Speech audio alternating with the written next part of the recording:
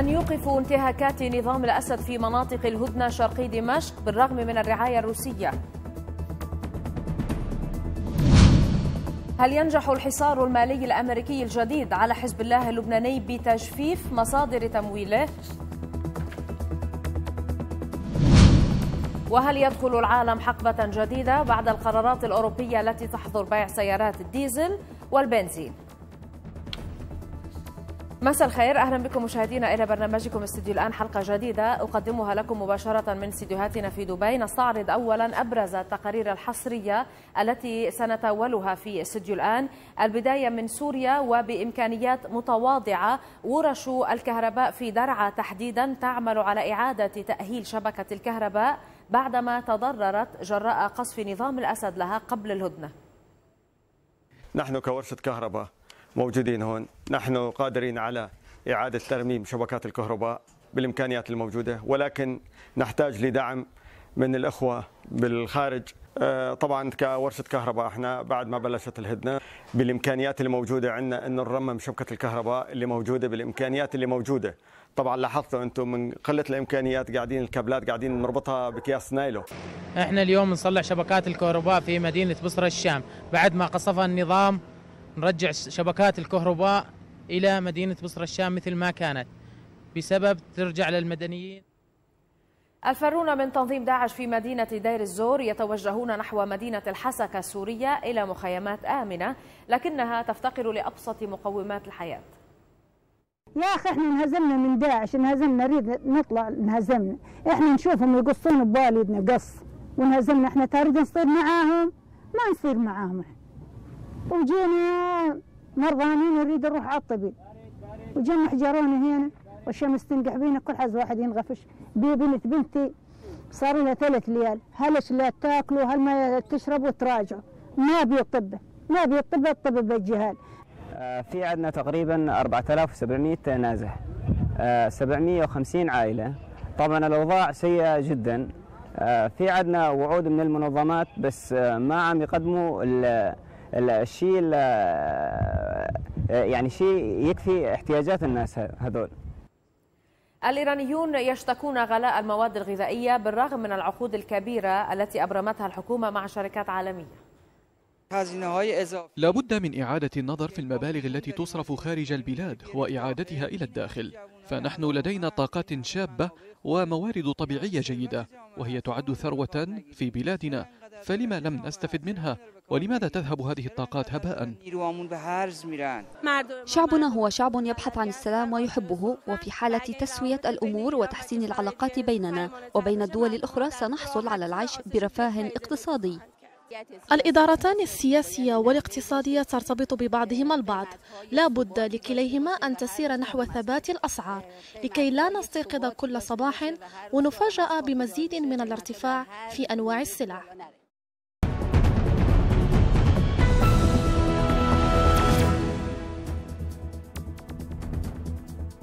الآن إلى موجز لأهم وآخر الأنباء نبدأه من الرقة السورية. حيث أفشلت قوات سوريا الديمقراطية هجوما لداعش بمجموعة من العربات المفخخة بحي نزلة شحادي. قتل خلاله 14 مسلحا من داعش. وهاجم مسلحو التنظيم بعد منتصف الليل بثلاث سيارات مفخخة ودراجتين هاجموا نقاطا عدة تتمركز فيها قوات سوريا الديمقراطية في القسم المحرر من الحي حيث تمكنت القوات من تدميرها جميعا وإفشال الهجوم. في العراق المجاور قال مصدر أمني إن أفراد داعش المحاصرين في قضاء تل عفر أخلوا العديد من مقراتهم الرئيسة في مركز القضاء فيما تعمدت المجاميع الإرهابية إبقاء راياتها السوداء فوق المقرات التي تم إخلاؤها من باب تمويه القوات الأمنية. وأضاف المصدر أن إخلاء المقرات هذا جاء بعد استهداف وتدمير عدد منها بالقصف الجوي الدقيق والمكثف على مدى الأيام الماضية. في العراق أيضا قال رئيس الوزراء حيدر العبادي إن المواطنين والمواطنات الأجانب الذين اعتقلوا في معارك تحرير اعتقلوا في معارك تحرير الموصل يخضعون الآن للتحقيق من قبل القضاء العراقي مؤكدا أن بغداد لن تستثني أحدا تورط مع داعش من العقاب. من ناحية أخرى أكد العبادي أنه تم وضع خطة لتحرير تل عفر وأن القوات العراقية جاهزة للمعركة. قال وزير الدولة الإماراتي للشؤون الخارجية دكتور أنور قرقاش إن الدول الراعية لمكافحة الإرهاب الداعية له. عليها المضي قدما من دون قطر مشيرا إلى أن الدوحة تذهب نحو سياسات لا تنتهجها.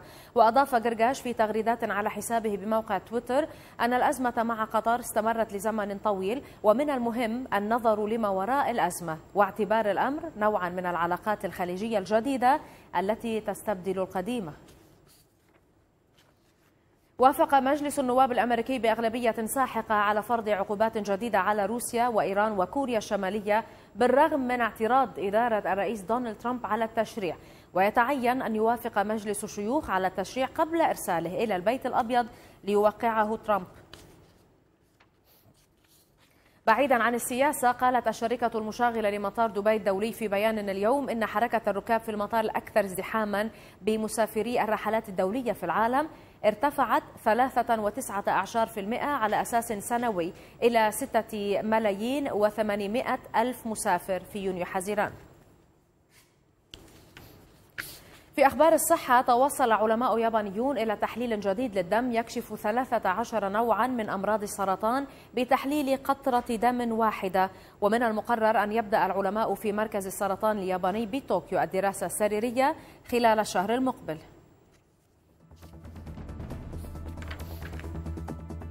ورش الكهرباء. تصلح ما دمره قصف الأسد في مدينة درعا وريفها. هذا ما نتابعه بعد قليل.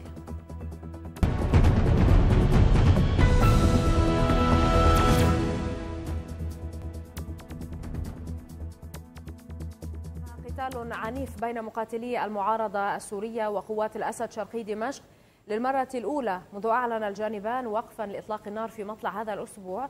وفق ما ذكر المرصد السوري لحقوق الإنسان.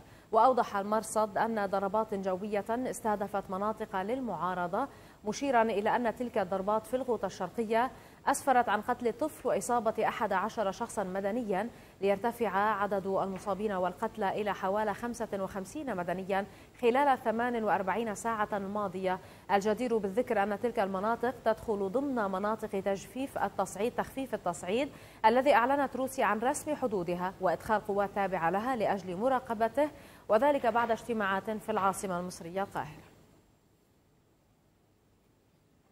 ينضم إلينا عبر الهاتف من كافنتري البريطانية رامي عبد الرحمن مؤسس ومدير المرصد السوري لحقوق الإنسان. مساء الخير أهلا بك معنا.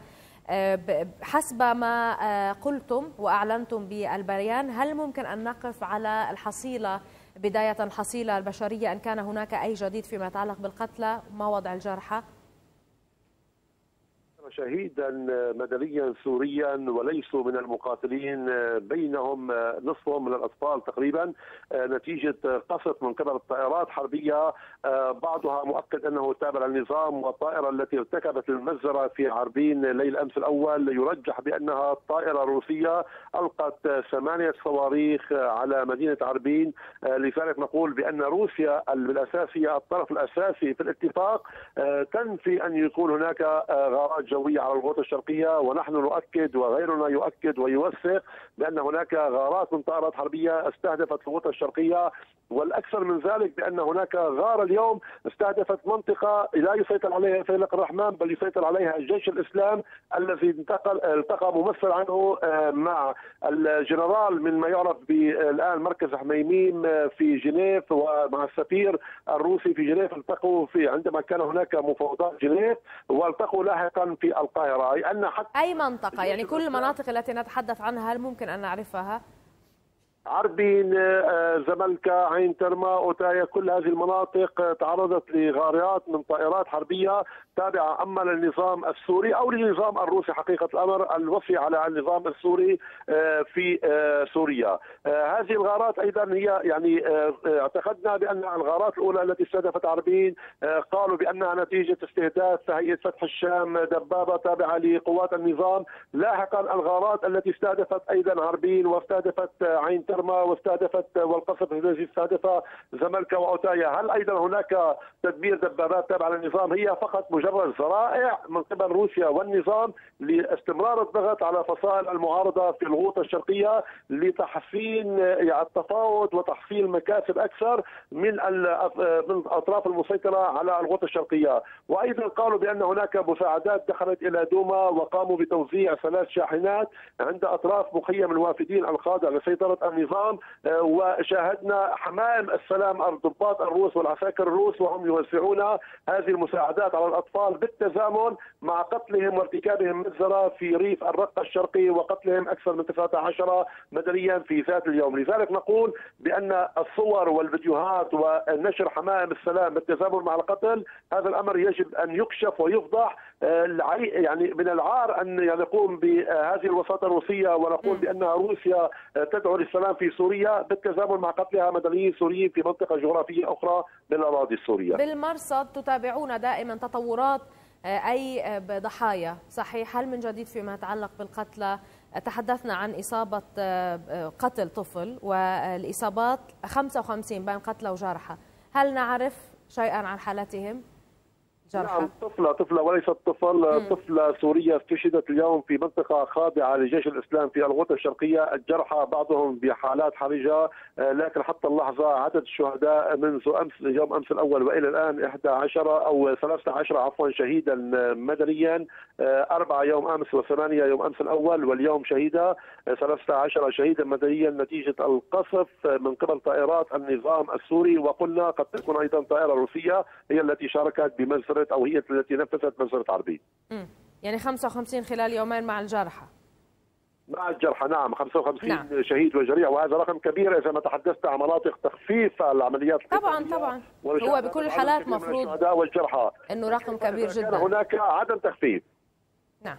أنا أشكرك. من كوفنتري البريطانية رامي عبد الرحمن مؤسس ومدير المرصد السوري لحقوق الإنسان.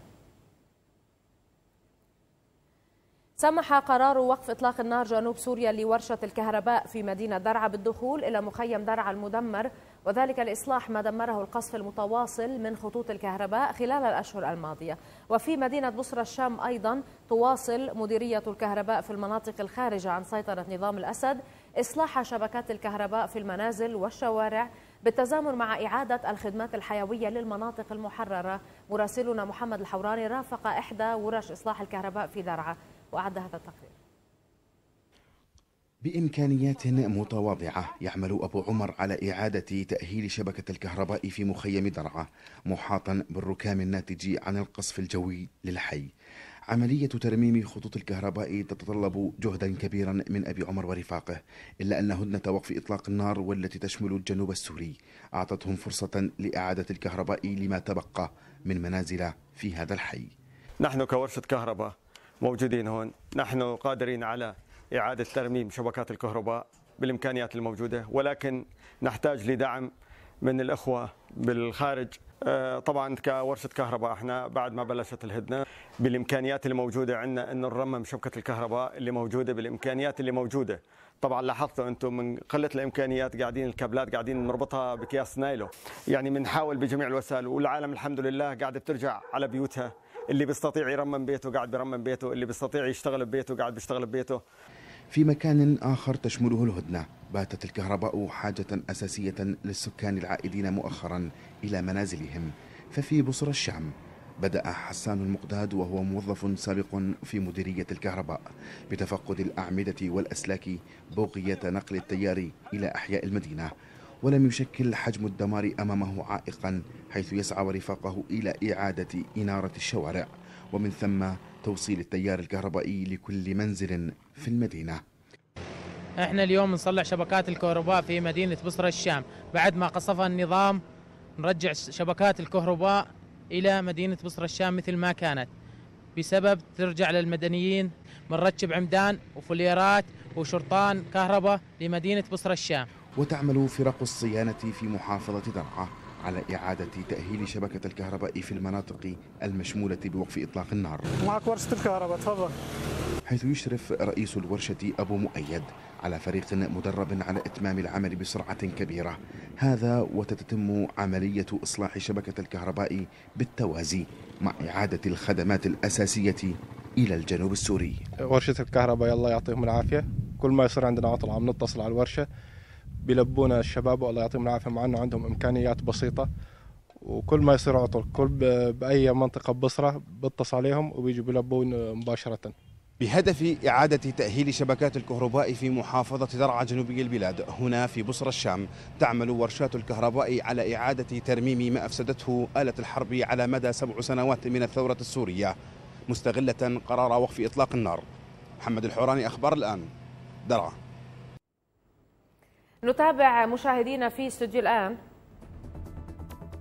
مخيم قانا مكان جديد قرب الحسكة للفارين من بطش داعش.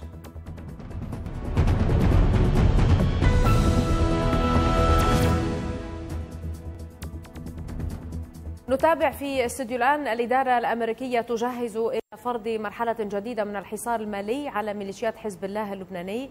وتجفيف مصادر تمويله في مرحلة ستشكل سابقة في كيفية فرض العقوبات المالية على الحزب ونشاطه خاصة وأن الأمريكيين ينتهجون سياسة جديدة سياسة برأي الخبراء لا تقتصر على ضرب المؤسسات الإرهابية وحسب بل تمتد لتطال البيئة الحاضنة والممولة لها. في الإطار ذاته وصفت المندوبة الأمريكية لدى مجلس الأمن كي هيلي وصفت ميليشيات حزب الله بأنها قوة مدمرة وعقبة في طريق السلام وقالت في كلمتها إن قرارات الأمم المتحدة تدعو حزب الله لنزع السلاح وهذا لم يحدث. عبر الهاتف من أبها معي الدكتور محمد الزلفى عضو مجلس شورى السعودي السابق. لم ينزع سلاحه حزب الله هل ممكن أن يقوم بهذا يوما من الأيام؟ أنا أعتقد أنه من الضروري جدا آه، أن تنزع كل الأسلحة من المنظمات الإرهابية وكل أسف إيران أفرزت منظمات إرهابية آه، حزب الله في لبنان الحوثيين في اليمن آه، أيضا نعم. طائفية في العراق ميليشيات متعددة في سوريا. آه، أعتقد أن كل الأذرع التي تدور في الفلك الإيراني آه، وعلى رأسها حزب الله لابد أن توضع لها حدود. لأن حزب الله مثلا صادر حق الشعب اللبناني في تقرير مصيره في في حياته في اقتصاده في وجوده في منظومة المنظومه العربية. آه، خلق الكثير من المشاكل ويهدد من يعارضه بقوة السلاح. نعم آه، كيف سيتم التعامل مع هذا الموضوع آه، دكتور محمد؟ فرض العقوبات هذا أو هذا الموضوع سيشكل سابقة بكيفية فرض العقوبات المالية. إلى أي درجة هنا نتحدث بشكل مباشر أو غير مباشر عن إيران؟ أنا أعتقد أنه حديث الرئيس الأمريكي اليوم حديث واضح وصريح.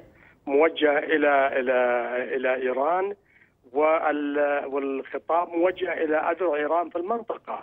القرارات اللي اتخذها اتخذتها الولايات المتحدة الأمريكية في وضع قيود وعقوبات على حزب الله وعلى ما يقوم به حزب الله من أعمال تتنافى مع المبادئ الدولية تتنافى مع حقوق الإنسان تتغاير مع كل القيم التي آه، فطر على الإنسان.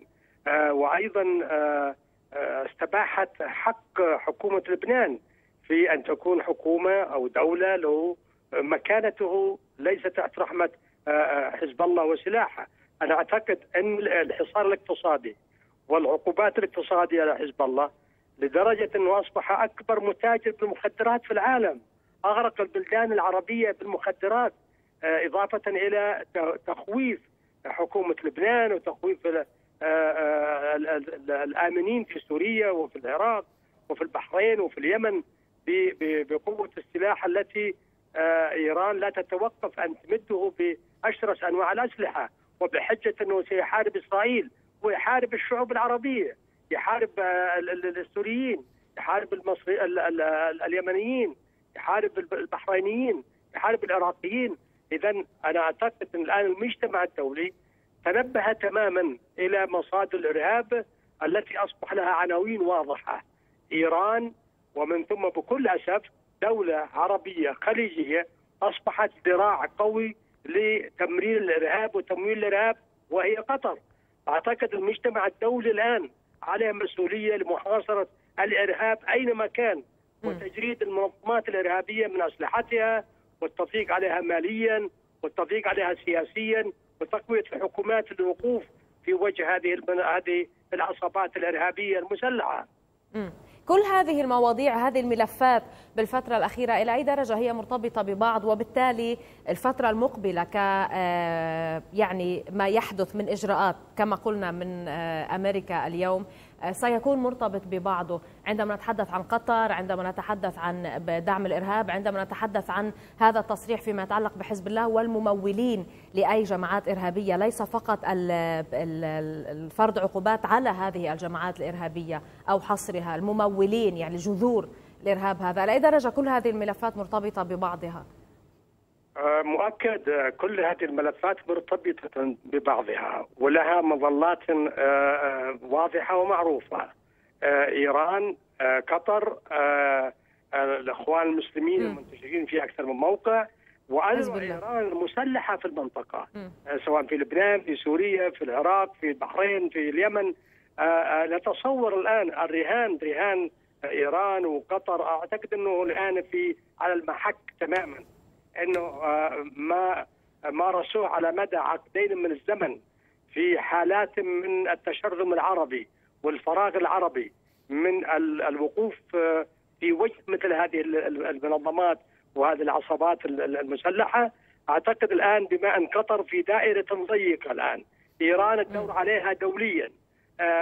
المنظمات هذه كلها ستختفي باختفاء القواعد والحاضنات الأساسية نعم. سواء إيران ولا قطر ولا من على شاكلتهم فأعتقد إنه الآن دول المقاطعة لقطر المحاربة للارهاب هؤلاء عندهم الحرص والإرادة على التنظيف في الساحة العربية من كل م. مصادر الإرهاب وممول الإرهاب والقائمين بالإرهاب هنا توجه جديد وعالم جديد نخلقه نعم. نحن العرب اولا ومن ثم أيضا معنا المجتمع الدولي الذي يقول إنه يحارب الارهاب. أنا أشكرك جزيلا. من أبها دكتور محمد الزلفى عضو مجلس الشورى السعودي سابقا.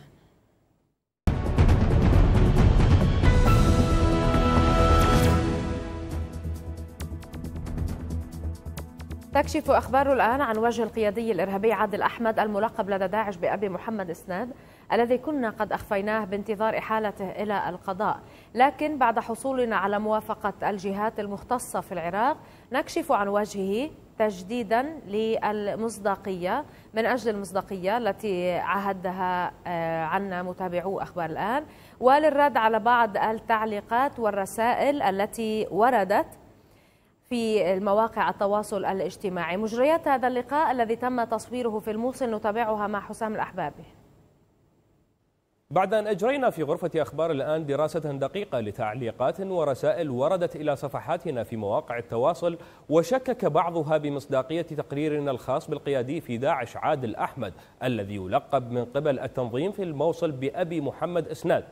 كان لا بد لنا من إعادة تسليط الضوء على ما جاء في المقابلة الخاصة التي أجريناها معه. وبعد أن حصلنا على موافقة الجهات المختصة في العراق نكشف اليوم عن وجه هذا الإرهابي الملقب أبو محمد إسناد تجديدا للمصداقية التي نعتمدها في تقاريرنا بمناطق النزاع.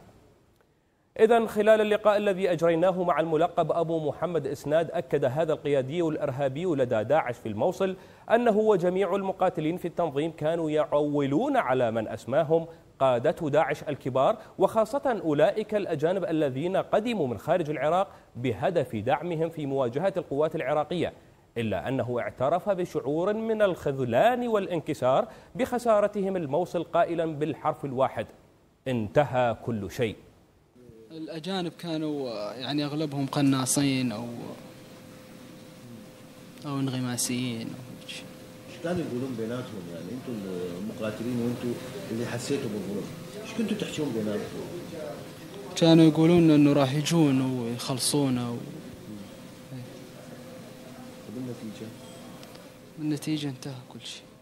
وعند سؤاله خلال اللقاء عن مصير بعض قادة داعش وأين هربوا إثر تحرير الموصل ولماذا تخلوا عن مقاتلي التنظيم المحليين؟ اقتصرت إجابات الملقب أبو محمد إسناد على إيماءات أشرت بوضوح مدى الانهيار الذي شهده داعش ليس فقط إثر خسارته الموصل أو ما أسماها بعد تحرير المدينة أرض الخذلان بل بوضع التنظيم أيضا المنهار والمحاصر داخل معاقله الأخرى سواء في العراق أو سوريا.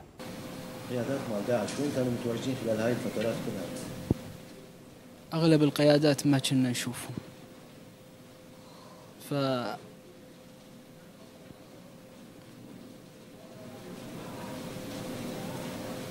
ما ليش ما كنتوا تشوفوهم؟ وين كانوا متواجدين القيادات؟ أثناء المعارك وين كانوا؟ ما أعرف البغدادي وغيره وين؟ ما أعرف ما كنتوا أنتم بيناتكم تجادلون أو تحشون أو تسالون عليهم؟ ليش تركوكم مثلا؟ شنو هو السبب؟ انت باعتقادك شنو هو السبب؟ ما ليش. تخلوا عنكم؟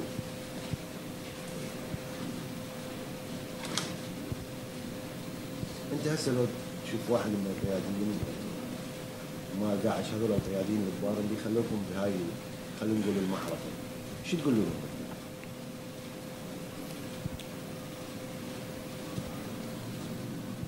ما أعرف شو أقول. ما يسمى لدى داعش أبو محمد إسناد تحدث لأخبار الآن أيضا عن التضييق الذي مارسه التنظيم على الحريات ومقدرات السكان ومصالحهم فكرههم الموصليون وابتعدوا عنهم على خلفية الإجراءات القمعية والجرائم التي كان يرتكبها قادة داعش القادمون من خارج العراق منذ احتلالهم الموصل. قاموا يضيقون على الناس. يعني قاموا الناس تكرهنا. فإحنا ردنا نصلح هذا الشيء ما قدرنا. ف قاموا خلوا الأمنية يشتغلون بكيفهم وخلوا ال... جابوا ناس جو من غير الدول يشت- يشتغلوا بكيفهم ف خربوا خربوا علينا. إذا اللقاء الذي صورته أخبار الآن مع ما يسمى لدى داعش أبو محمد إسناد الذي كنا قد أخفينا وجهه في التقرير السابق كونه لم يتم تحويله بعد إلى القضاء.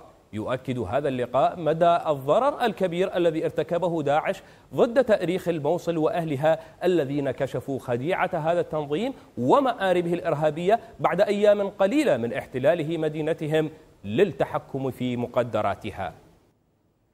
فر الكثير من الأهالي من مناطق سيطرة داعش نجح بعضهم في الوصول إلى مخيمات قرب الحسكة السورية. هو مخيم قانا كان وجهة لكثير من الفارين من مناطق التنظيم لكن الأوضاع الإنسانية تزداد صعوبة مع ارتفاع درجات الحرارة. تفاصيل أوفى في سياق التقرير التالي. مخيم قانا أحد المخيمات التي أقيمت جنوب الحسكة لاستقبال آلاف المدنيين والأبرياء الفارين عن مناطق داعش. ومع استمرار المعارك ضد التنظيم وتقلص مناطق سيطرته نجح المئات من المدنيين في الهروب بحثا عن مكان آمن لكن أوضاعهم تزداد سوءا في المخيمات مع ارتفاع أعدادهم. يا أخي إحنا انهزمنا من داعش انهزمنا نريد نطلع انهزمنا. إحنا نشوفهم يقصون بوالدنا قص وانهزمنا. إحنا تاريد نصير معاهم؟ ما نصير معاهم. وجينا مرضانين نريد نروح على الطبيب. وجينا حجرونا هنا والشمس تنقح بينا كل حز واحد ينغفش. بي بنت بنتي صار لها ثلاث ليال. هلش لا تاكلوا؟ هل ما تشربوا؟ تراجعوا. ما بي طبه ما بي طبه الطب بالجهال بالله عليك لما يفرض جاهل يروح من تشيس من من تشيس من ما يروح من تشيس من يا ابوه إدارة المخيم تحاول مساعدة النازحين من خلال تأمين الماء ووجبات الطعام لهم بينما تقوم بعض المنظمات بتأمين الأدوية. يقول القائمون على المخيم إنهم يبذلون كل طاقتهم لتأمين الطعام والماء والأدوية. آه، في عندنا تقريبا 4700 نازح. آه، 750 عائلة. طبعا الأوضاع سيئة جدا. آه، في عندنا وعود من المنظمات بس آه، ما عم يقدموا ال- ال- الشيء ال- آه، يعني شيء يكفي احتياجات الناس هذول. إيه، طبعا في الإدارة الذاتية عم تتحمل آه، أعباء. آه، مثل عم يجيبوا مي عم يجيبوا آه، خبز. تزداد معاناة الأهالي في مخيم قانا بسبب ارتفاع درجات الحرارة وعدم توفر المياه النظيفة وانتشار القمامة قرب المخيم إضافة إلى الأمراض التي بدأت تنتشر بين الأطفال كالإسهال والحرارة. عندنا نواقص في حالات مأساوية يعني للمخيم. ما في أي جهة يدعمنا بالنسبة للنازحين اللاجئين للمخيم القانا وفي أمراض مستعصية كثيرة يعني مثل سرطانات التهاب الكبد أمراض سارية يعني وإلى آخره يعني.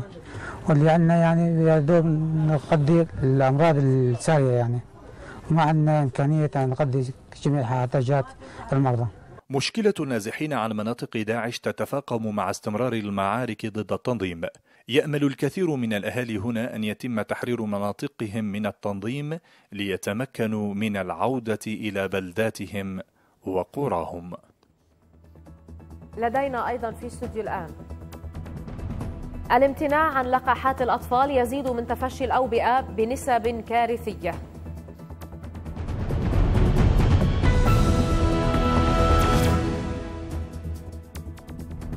نتابع مشاهدينا وعلى الرغم من عقود الطاقة الكبيرة التي أبرمت بين شركات عالمية وإيرانية إلا أن الأخيرة أخفقت في الحفاظ على ثبات الأسعار في أسواقها وهو ما انعكس بوضوح على حالة المشترين فيها. إذ يرى العديد من الإيرانيين وجود أسباب ساهمت بشكل مباشر في هذا التذبذب. مراسلتنا علا مسعودي استطلعت آراء مواطنين إيرانيين ووفتنا بهذا التقرير. يبدو أن صيف إيران لهذا العام لم يشهد ارتفاعا ملحوظا بدرجات الحرارة فحسب بل أن الأمر سرى لأسعار السلع والمواد الغذائية أيضا. لكن لماذا وكيف؟ جئنا إلى هنا لمعرفة ذلك.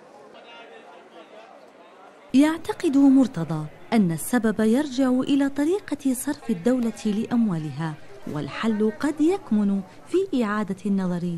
بطريقتها. لا بد من إعادة النظر في المبالغ التي تصرف خارج البلاد وإعادتها إلى الداخل.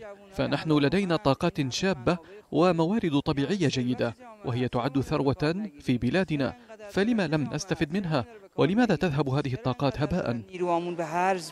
أما سارة فتؤكد أن السلام هو الطريق الأنسب للوصول إلى الرفاه الاقتصادي. شعبنا هو شعب يبحث عن السلام ويحبه وفي حالة تسوية الأمور وتحسين العلاقات بيننا وبين الدول الأخرى سنحصل على العيش برفاه اقتصادي.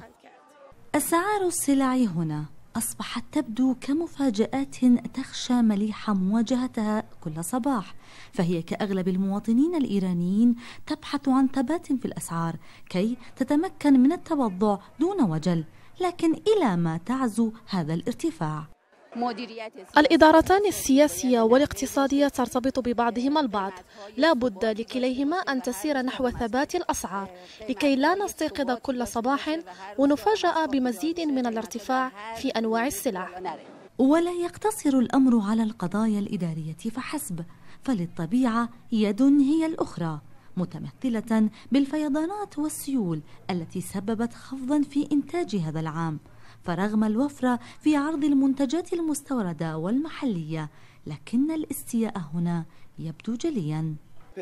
كان سعر هذا الفستق قبل ثلاث سنوات 52 ألف تومان إيراني والآن وصل إلى حوالي 85 ألف تومان إيراني وهذا لأنه لم يعد يزرع في بلدنا.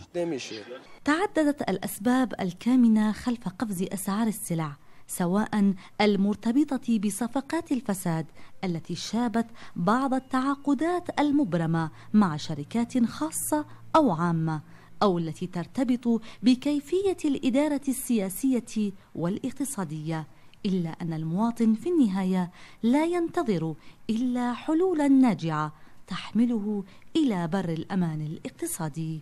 لأخبار الآن علا مسعودي طهران. قال وزير البيئة البريطاني مايكل جوف الأربعاء إن بلاده ستحظر بيع السيارات الجديدة التي تعمل بالبنزين والديزل اعتبارا من عام 2040 في إطار خطة لمنعها تماما بعد ذلك بعشرة أعوام. يأتي هذا بعد إعلان مماثل في وقت سابق من الشهر الجاري من الحكومة الفرنسية بينما تعمل بعض المدن الألمانية مثل شتوتغارت وميونخ على دراسة حظر بعض السيارات التي تعمل بالديزل. وتواجه الحكومة البريطانية ضغوطا لاتخاذ خطوات لخفض تلوث الهواء بعد خسارة دعاوى قضائية أقامتها جماعات مدافعة عن البيئة. وأعلنت في مايو أيار اقتراحات لبرنامج إحلال للتخلص من معظم السيارات الأكثر تلويثا في العالم. معي عبر الهاتف من بيروت دكتور دومت كامل رئيس حزب البيئة العالمي والمرجع البيئي العالمي. مساء الخير أهلا بك معنا دكتور دومت. آه، إلى أي درجة اليوم هذا الموضوع بات يقول لنا بأنه الوضع لن يتحمل أي تأخير؟ ولا شك الوضع لن يتحمل أي تأخير بتاتا. نحن وصلنا لذروة وقمة وقمة التلوث وقمة التغير المناخي وقمة التدهور البيئي العالمي. حان الوقت للعمل الجدي وسريعا دون أي إبطاء من أجل من أجل وضع وضع قانون بيئي حديث جدا يحمي يحمي الكرة الأرضية وكل أرجاء الكوكب من الملوثات الخطيرة ومن النفق المظلم. نحن اليوم أمام أمام كارثة بيئية عظيمة جدا في الكون في الكون أجمع. يعني تلوث ازدياد ازدياد الغازات الدفيئة بالجو بشكل جنوني ومتسارع أكثر ب 100 مرة من المعطيات اللي كانوا متوقعينها. نحن اليوم أمام خطر داهم على كل أرجاء الكوكب. عندنا ازدياد خطير بالمصانع بالعالم اتجاه الدول الدول كل الدول اتجهت للصناعات الضخمة. الصناعات الضخمة تستهلك كميات ضخمة من الوقود الأحفوري عندنا استهلاك ضخم يعني ولا ولا شك هالاستهلاك الضخم ما بقى عندنا بيت تمتصه ما بقى عندنا المحيطات تمتصه نعم. ولا البحر. نحن وصلنا كارثه وهالكارثه بدي أحذر من معين. وللمرة ثاني أكسيد الكربون الجو ذرات بالمليون الحد الأقصى من 50 بالمليون. نحن وصلنا بال 410 أجزاء بالمليون وهالنقطة هيدي ستتصاعد سريعا جدا للوصول ل 500 جزء بالمليون م. وعند الوصول إلى 500 جزء بالمليون سيكون في تدهور خطير عالمي بالمناخ والتغير المناخي العالمي وما شفناها لهالجمعتين من تغير مناخ من فيضانات خاصة الفيضانات الموجودة وجدت بتركيا اللي صارت بتركيا م. يلي هي قطعت قطعت بكتل هوائية ضخمة حاملة أشد الأشد كميات من البخار من كميات المي واتجهت آه، غربي غربي آه، شمالي فوصلت. يعني هي لو كانت طقس عادي لكن شفنا الأمطار نزلت بلبنان وبسوريا وبعدة مناطق وبالعراق وبالاردن بس ولكن هالوضع لأنه منه عادي هالكتل الهوائية كلها تحملت بكميات ضخمة من من من المي وبعد ما وصولها للأجواء التركية الباردة صار في عندنا هطول شيء شيء جنون. أه. الموضوع هالموضوع هيدا ممكن يصير بكل أرجاء المنطقة العربية وبكل أرجاء العالم. طيب بموضوع المواصلات ووسائل النقل يعني إذا سألنا نقطة أخيرة عن هذا الموضوع بما أنه تحدثنا عن حظر سيارات البنزين والديزل إلى اي درجة مهم نحن كأفراد أيضا أن نساهم؟ يعني على الأقل باستخدام ربما وسائل النقل العامة صحيح؟ اولا اولا إذا إذا ممكن إذا كان في خطط خطط بديلة عن النقل الخاص هذا شيء عظيم جدا. بس ولكن نحن اليوم امام أمام خطر خطر كثير كبير بالمناطق بكل العالم. م. هو استبدال السيارات الموفرة للوقود ذات اللي بتوفر بتوفر بكميات ضخمة. استبدالها بسيارات رباعية الدفع يلي هي بتستهلك كميات ضخمة من الوقود دون دون النظر إلى إلى الوضع البيئي. يعني في سيارات بال 100 كيلومتر بدها بدها بدها 25 لتر بنزين. بينما في سيارات بال 25 لتر بتمشي 350 كيلومتر بتوفر ثلاث مرات. ولكن سياسة الدول السياسة سياسة الدول من عم تاخذ ولا ولا بشك ولا بأي نظرة النظرة البيئية والأثر البيئي لأي عمل وهيدا التدهور الخطير نحن اللي عم نعيشه. هون من هون بدي بدها بدها صرخة بدها صرخة وبدها اعلام أنا بشكر كل الإعلام اللي عم يتعاون معنا وكل الإعلام والإعلاميين يلي عم بيخلونا نعطي رأينا وبكل فخر إنه نحن قدرنا أثرنا بمناطق كثير عديدة بالعالم وأخذوا باستراتيجياتنا. على امل إنه نقدر بالمنطقة العربية يكون في استراتيجية عالميه لأنه المنطقة العربية ستتدهور بشكل خطير بشكل خطير في بالمناخ ومشتقات المناخ والتغير المناخي. وأكيد وكل تأكيد أنا بدي نحن عم نتبع دراسات وأبحاث دقيقة يوميا. يعني نعم. بدي أقول لك بعطيكي مثل بعطيكم مثل هذا مهم كثير. عن لبنان لبنان السنة خسر أكثر من 12 ولا 15% من الثروة الحرجيه من جراء التغير المناخي اللي أصاب لبنان أه. والمنطقة والمنطقة العربية كمان رح تتدهور أكثر تمدد التصحر وال... نعم. والانقراض وانقراض الغابات ووضع ووضع آه، هاي الاستراتيجيات اللي ما لما مش موجودة نحن كشعب بالمنطقة العربية كل أرجاء الشعب بيدفع الثمن صحيح. أنا أشكرك جزيلا آه، دائما لهذه المشاركات القيمة للمعلومات لرفع الوعي. شكرا جزيلا لك من بيروت دكتور دومت كامل رئيس حزب البيئة العالمي والمرجع البيئي العالمي.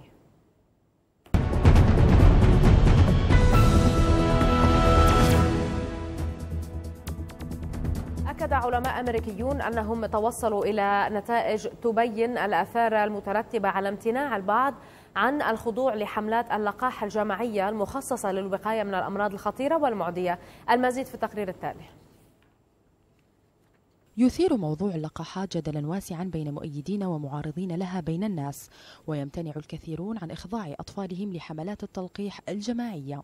غير أن دراسة جديدة أجراها العلماء بينت الآثار المترتبة على امتناع البعض عن الخضوع لحملات اللقاح الجماعية المخصصة للوقاية من الأمراض الخطيرة والمعدية. إذ أكدت منظمة الصحة العالمية إلى أن اللقاحات تقي من حدوث ما يقدر بمليوني إلى ثلاثة ملايين وفاة كل عام حيث أجرى العلماء دراسة مطولة مبنية على النتائج التي حققتها حملات اللقاح المتعددة ضد الحصبة والنكاف والحصبة الألمانية. وبينت الدراسات أن تراجع عدد الأطفال الذين يتلقون اللقاحات ضد الحصبة بمقدار 5% في العام فقط يزيد من انتشار الوباء بمعدل ثلاث مرات ويزيد الأعباء المادية على الميزانية المخصصة لوزارة الصحة في الولايات المتحدة بمقدار مليوني دولار في السنة. وفضلا عن الأعباء المادية التي تترتب على الهيئات الصحية أشار العلماء أن ازدياد انتشار الوباء يؤدي إلى أعباء مادية ومعنوية إضافية على السكان بشكل عام. ويذكر أن العديد من الدراسات كانت قد نوهت سابقا إلى موضوع اللقاحات والآثار السلبية التي تترتب على الحكومات والهيئات الصحية حول العالم في حال الامتناع عنها. معي من دبي دكتور مسعف عبد الرازق استشاري أطفال. مساء الخير. أهلا بك معنا دكتور مسعف قبل أن نتحدث عما آه، فيما لو لم يتم تطعيم بلقاحات معينة ما أهم لقاح يجب آه، أخذه الأطفال؟ نتحدث. مساء الخير الجميع والحقيقة اللقاحات ما طلعت غير لحماية الاطفالنا من الأمراض الخطيرة. كل اللقاحات اللي حاليا متوفرة هي ضرورية وأساسية. آه، بدءا من لقاح شلل الأطفال اللي الحمد لله ما عدنا نشوف آه، مريض لشلل الأطفال بالوضع الحالي. آه، مقارنة بالسوابق أنا فاكر بالسبعينات والثمانينات كان دائما يجينا حالات من شلل الأطفال وتؤدي إلى آثار جانبية وخيمة الحقيقة. انتقالا إلى تطعيمات الكزاز والسعال الديكي وانتقالا إلى الحصبة والحصبة الألمانية والنكاف وجدري الجدري الأول اللي كانوا يسمونه smallpox اللي يحسن الويت هذا كله من الأمراض اللي اندثرت نتيجة اللي آه، صنعت لحماية اطفالنا من هذه الأمراض. نعم دكتور مسعف آه، انه صوت يتقطع. لا أعرف إذا كان بالإمكان إعادة الاتصال بدكتور مسعف على أي حال أنا أشكرك آه، دكتور مسحف عبد الرازق استشاري الأطفال على هذه المشاركة معنا من دبي ولو كانت قصيرة. باستوديو الآن أيضا. وداد امرأة ليبية تؤسس أول نادي رياضي للنساء في مصراتها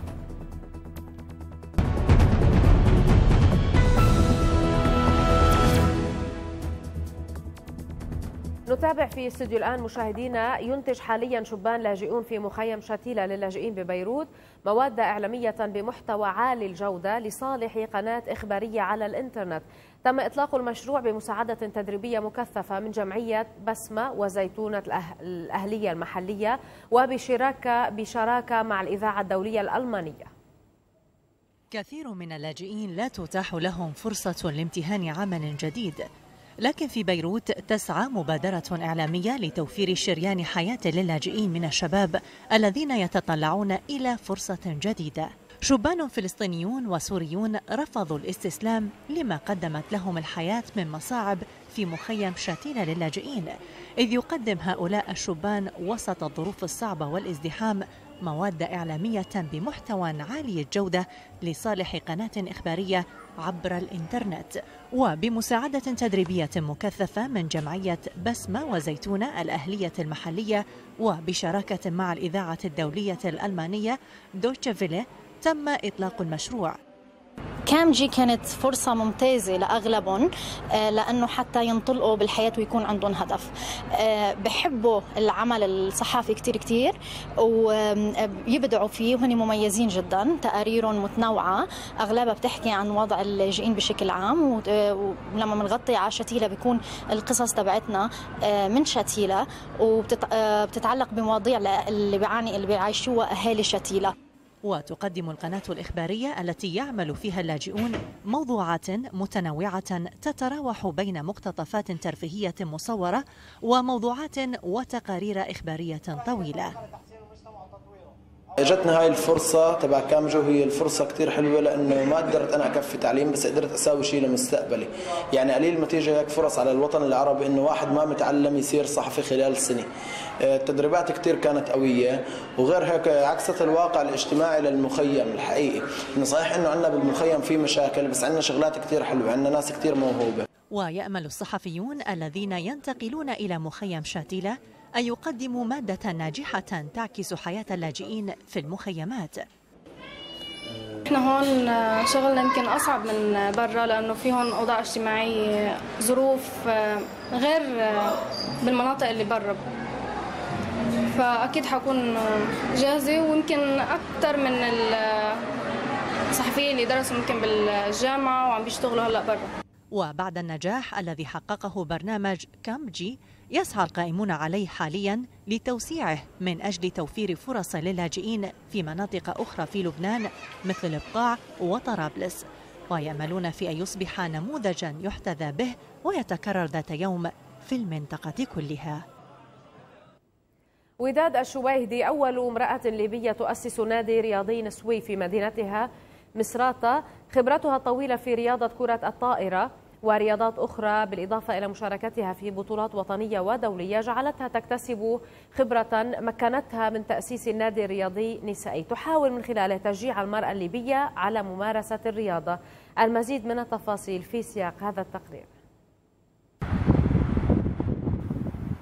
لاعبة المنتخب الليبي للنساء في كرة الطائرة سابقا وبعد أكثر من ثلاثة عقود حازت من خلالها على العديد من البطولات ولعبت في مجالات رياضية مختلفة. وداد سالم الشويهدي وهي لا زالت في عقدها الخامس من العمر تصر على عدم ترك المضمار وأن تكون الرياضة النسائية في ليبيا حاضرة وبقوة. كنت لاعبة قديمة في كرة الطائرة منذ سنة 1972 مارست عدة أنشطة رياضية منها الجمباز كرة الطائرة السلة الموسيقى. آه، حبي للرياضة دفعني أني حتى وأنا في هذا العمر أني نشجع المرأة على ممارسة الرياضة لما لها من فوائد كثيرة تعود على الجسم على الحالة النفسية. الرياضة تغذي الجسم وزي ما يقولوا العقل السليم في الجسم السليم هذه مقولة صحيحة 100% ف صارت عدة تظاهرات رياضية. كنت أنا أحد المشرفات على هذه الرياضة.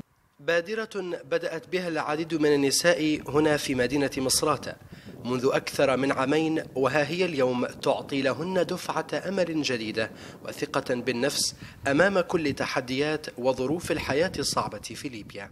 بالنسبة للرياضة لما قعدنا نجو درنا برنامج رياضي ونادي للمرأة. حسينا يعني كل مرة في ازدياد العدد كل مرة بشوية. بدينا بعدد في إقبال والله من الأول بدينا بجزء بسيط. بصراحة بادرة جميلة من من الأخوات اللي استمرن فيها بدن فيها عطن رأيهم فيها.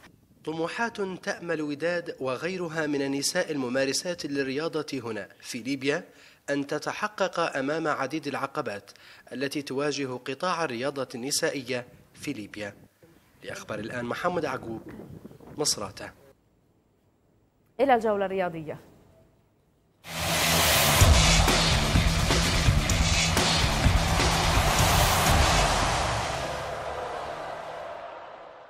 ريال مدريد سيحطم رقم أغلى لاعب للمرة الخامسة في عهد فلورنتينو بيريز. هذا ما أعلنته صحيفة إسبانية. ذكرت أن النادي الملكي توصل لاتفاق للتعاقد مع النجم الفرنسي الصاعد كيليان مبابي يكسر بموجبه الرقم القياسي لصفقات الانتقال بتاريخ كرة القدم. تقرير التالي والتفاصيل. أصبح ريال مدريد على بعد خطوة من التعاقد مع نجم موناكو الدولي الفرنسي كيليان مبابي خلال الميركاتو الصيفي الجاري في صفقة ضخمة ستكون الأغلى في التاريخ وفق صحيفة ماركا ب 180 مليون يورو. وقبل مبابي حطم الملكي رقم أغلى صفقة في التاريخ في أربع مناسبات خلال فترتي رئاسة فلورنتينو بيريث للنادي. الصفقة الأكثر جدلا عبر تاريخ الكرة الإسبانية. كانت من أوائل تدعيمات فلورنتينو بيريث لريال مدريد في صيف 2000 بعد انتخابه رئيسا للنادي. إذ قام نادي العاصمة بتفعيل الشرط الجزائي في عقد الدولي البرتغالي لويس فيغو مع برشلونة بدفع 60 مليون يورو لتصبح أغلى صفقة في التاريخ. وبعد سنة واحدة فقط من انتداب لويس فيغو من برشلونة قام فلورنتينو بيريث بتدعيم الفريق بصفقة ضخمة أخرى بالتوقيع مع النجم الفرنسي زين الدين زيدان آتيا من يوفنتوس مقابل 73 مليون يورو ليتم تحطيم رقم لويس فيغو سريعا كأغلى صفقة في التاريخ.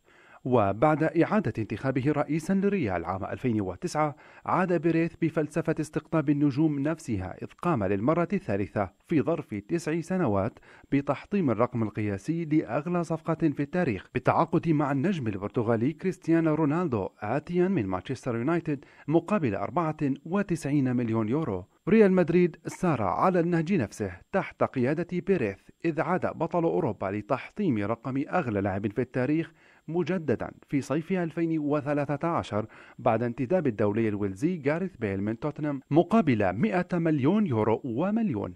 كأول صفقة في تاريخ كرة القدم تتجاوز حاجز المائة مليون. نبقى مع أخبار الريال حيث سيلتقي بطل دوري أبطال أوروبا مانشستر سيتي يوم غد الخميس مع غريمه برشلونة الأحد المقبل ضمن كأس الأبطال ثم نجوم الدوري الأمريكي في الثالث من آب أغسطس. تعرض ريال مدريد إلى الخسارة أمام مانشستر يونايتد بركلات الترجيح بعد انتهاء الوقت الأصلي بالتعادل في سانتا كلارا في ولاية كاليفورنيا ضمن مباراة ودية في كأس الأبطال الدورية الإعدادية للموسم الجديد وهي المباراة الإعدادية الأولى لريال في جولته الأمريكية. أكد الإيطالي كارلو أنشيلوتي المدير التنفيذي لبايرن ميونخ الألماني أنه يستبعد رحيل اللاعب تشيلي أرتورو فيدال مشيرا إلى أن كل ما يثار حول هذا الموضوع هو محض شائعات. وبعد مشاركته في بطولة كأس القارات في روسيا مع منتخب تشيلي الذي خسر المباراة النهائية أمام ألمانيا قرر فيدال أخذ عطلة ولم يصاحب الفريق البافاري في جولته الآسيوية. أعلن نجم كرة المضرب الصربي نوفاك ديوكوفيتش الأربعاء انتهاء موسمه موسمه بسبب الإصابة التي يعانيها وذلك من خلال فيديو نشره في صفحته على موقع فيسبوك. اضطر ديوكوفيتش إلى الانسحاب من مباراته في الدور ربع النهائي لبطولة ويمبلدون ثالثة بطولات الأربع الكبرى أمام التشيكي توماس بيرديتش بسبب هذه المشكلة. وسيغيب الآن عن فلاشينغ ميدوز الأمريكية آخر البطولات الأربع الكبرى في العام الحالي التي ستقام الشهر المقبل إضافة إلى ما تبقى من الموسم.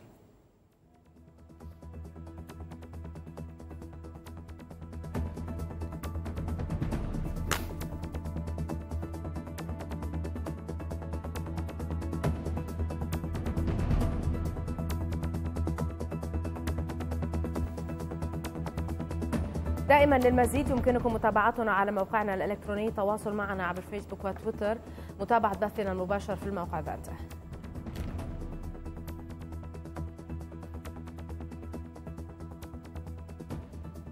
أنا أشكركم دائما مشاهدينا من دبي على متابعتنا وألقاكم غدا بإذن الله في نفس الزمان ونفس المكان لحلقة جديدة من استديو الآن.